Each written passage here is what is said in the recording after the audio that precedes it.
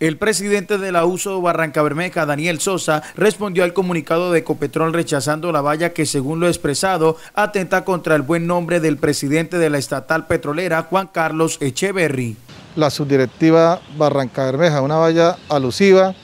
en denuncia al presidente de la Junta Directiva de Ecopetrol, Luigi Echeverry, quien ha tenido una serie de comportamientos que no van acorde con eh, la dignidad que él ocupa dentro de la primera empresa del país. El dirigente de la Unión Sindical Obrera mencionó que la valla se mantendrá en el lugar porque hace parte de una denuncia pública desde el organismo sindical. Que la vamos a mantener en este lugar Primero porque Luis Echeverri es el presidente de la Junta Directiva de Ecopetrol, tiene incidencia e injerencia directa sobre Ecopetrol.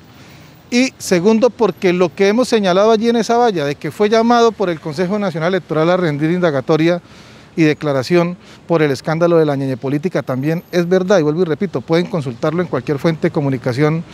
o de amplia circulación a nivel nacional de este país y verán y se darán cuenta que es así. No estamos diciendo nada diferente a la realidad y como organización sindical le hemos realizado esta acción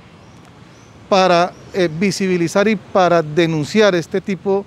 situaciones, este tipo de funcionarios, este tipo de directivos de la alta dirección de Ecopetrol. La USO sienta la posición de hacer este llamado de atención porque aseguran hace parte de la responsabilidad del ente sindical y porque Ecopetrol es una empresa estatal que influye en el interés general y la economía del país.